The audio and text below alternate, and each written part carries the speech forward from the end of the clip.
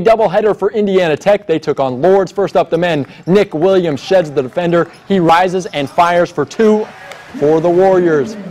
Indiana Tech started to run and they break the press. That's one way to do it. Darren Groves, he'll hammer it home. They lead by nine at halftime. Lourdes tries a rally. Jordan Fabry straight on. Triple goes for him. But it was too much. Indiana Tech, Dylan Fair, spin move in the lane here, and you'll see the finish. The men win 70 to 55. The final. The women also setting a hot pace on a chilly day. Latrira Beasley for Lourdes finishes on the inside. Indiana Tech coach Jesse Biggs tells them to attack, and you know what?